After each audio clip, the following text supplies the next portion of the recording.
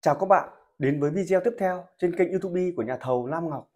Ở clip hôm nay thì Lam Ngọc chọn lọc gửi tới các bạn những mẫu trang trí bức vách sau TV đẹp nhất với nhiều phong cách nội thất và mức đầu tư kinh phí khác nhau.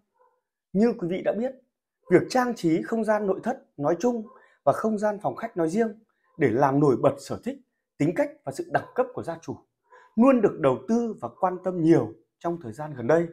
Và việc lựa chọn được một bức vách tivi đẹp, độc đáo và sang trọng sẽ là điểm nhấn tuyệt vời cho ngôi nhà mà chúng ta không thể bỏ qua. Nhưng làm sao có thể lựa chọn được loại vật liệu, mẫu thi công trang trí vách tivi vừa bền, đẹp mà giá thành hợp lý?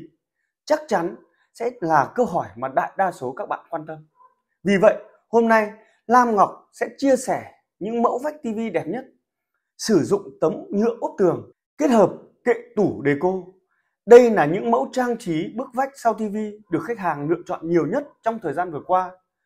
Phù hợp nhiều không gian nội thất khác nhau, tùy thuộc vào sở thích, điều kiện kinh tế của từng người mà quý vị có thể lựa chọn một mẫu phù hợp cho gia đình nhà mình.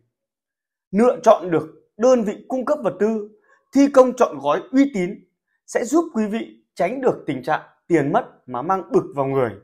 Vì tính thẩm mỹ, độ bền không như mình mong muốn giá thành thì không hợp lý.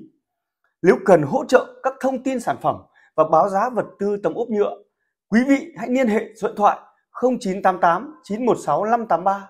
Dòng sản phẩm tấm ốp nhựa này Lam Ngọc nhận ship coder toàn quốc với mức giá hợp lý. Nếu cần tư vấn, báo giá thi công chọn gói hoặc cần tư vấn những mẫu phù hợp riêng cho từng công trình cụ thể, quý vị hãy liên hệ số điện thoại 0989 215 078 hoặc truy cập website lamngọc.vn để xem thêm nhiều mẫu đẹp và báo giá chi tiết cho từng loại vật tư cụ thể. Kính chúc quý vị mạnh khỏe, thành công và bình an trong cuộc sống. Nếu thấy clip hữu ích, quý vị hãy like, đăng ký kênh để tiếp tục theo dõi các clip tiếp theo Lam Ngọc chia sẻ lên YouTube quý vị nhé. Còn bây giờ, kính mời quý vị vào chủ đề chính của video ngày hôm nay.